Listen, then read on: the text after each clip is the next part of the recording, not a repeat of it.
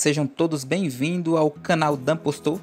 É, desta vez vou falar sobre uma planta bastante conhecida também aqui no Nordeste brasileiro. Estou trazendo vídeo de plantas populares aqui da minha região. Desta vez eu vou falar da planta chamada Xanana.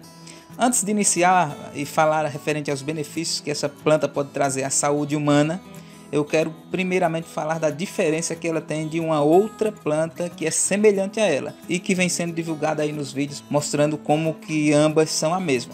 Mas antes quero trazer essa grande diferença aqui das duas, que elas são diferentes tanto na sua aparência como nas suas propriedades medicinais, ok? Então vamos iniciar aqui essa diferença entre esses dois tipos de planta que é a xanana e a damiana.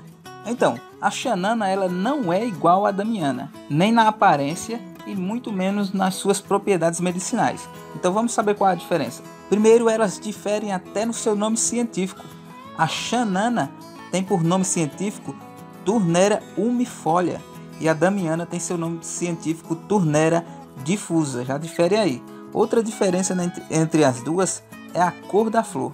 A xanana tem sua flor cor creme com fundo amarelado e é maior que a damiana.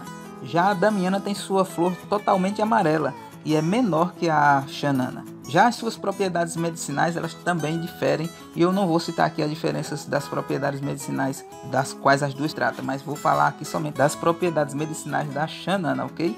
Então a xanana, que é essa planta que vocês estão vendo aí no vídeo, linda, né?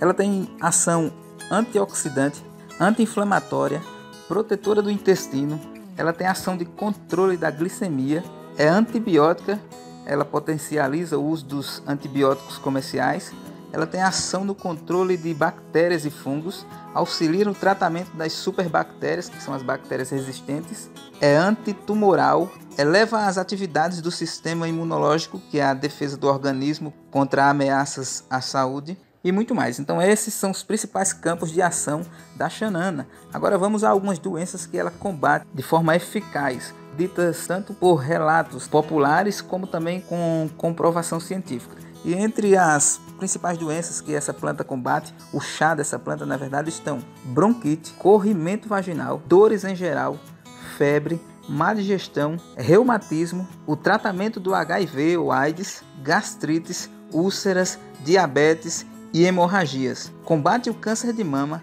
ela também tem efeito antibiótico, infecção urinária, cólicas menstruais, protege o fígado, combate a bactérias, auxilia no tratamento da pneumonia e muitas outras doenças são curadas com essa planta xanana. Então, logo, é uma planta incrível que você deve ter aí plantada no seu jardim. Um fato curioso também sobre ela, e por isto ela tem, ela recebe um nome Bom Dia, é o fato de que você só vai encontrar essa planta com essas flores abertas dessa forma aqui, linda e maravilhosa, pela manhã até mais ou menos ali umas 9 e meia, 10 horas. Depois disso, você vai encontrar essas flores desse jeito aqui, ó, com as flores fechadas, né? Ela vai automaticamente se fechando. Veja que já tem algumas, veja que ainda tem algumas que estão abertas, mas a grande maioria desse, desse pé que você está vendo aí ó, já estão fechadas. Daqui a alguns minutos todas elas estarão fechadas. Então à tarde praticamente você não encontra nenhuma flor aberta, todas elas estão fechadas. Por isso ela recebe nomes como por exemplo o nome de Bom Dia, né? Além de tudo, as, essas flores lindas que a xanana possui, elas são comestíveis. Você pode tirar ela do pé, né, se tiver plantado em um local limpo, e assim que tirar já comê-la. Né? Ela tem um sabor adocicado e é fonte também de vitaminas para a saúde humana. O modo de preparo do chá da xanana é o seguinte: você vai usar os seguintes ingredientes: 30 gramas de folha de xanana picada e lavada para meio litro de água. E o modo de preparo é o seguinte: você põe a água na panela e deixa ele iniciar a fervura. Né? Quando já estiver fervendo, você adiciona as 30 gramas de folha de xanana picada né, e lavada, como dito anteriormente, e tampa a panela, né? Deixa ela tampada, né? Que é o abafe deixa ela abafada e deixa ferver por mais ou menos 5 minutos.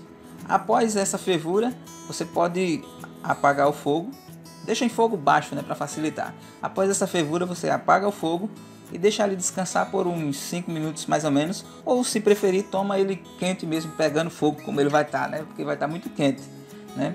Toma esse, toma esse chá duas vezes ao dia não ultrapasse sete dias no tratamento, né? Faça tratamento de períodos curtos, não faça, tratamento, não faça tratamento de períodos longos para que para que os componentes da xanana não venham a ficar no seu organismo e possa causar problemas futuros. E também para que seu organismo não se acostume com os efeitos medicinais da xanana e no futuro ele é, você precise da, dos efeitos dessa planta, ela não tem assim seus efeitos maximizados, pois o seu corpo já tem se acostumado com os efeitos medicinais dela, ok? Então esse é o modo de preparo e também o modo de tomar seguro para que você não tenha problema algum com a xanana.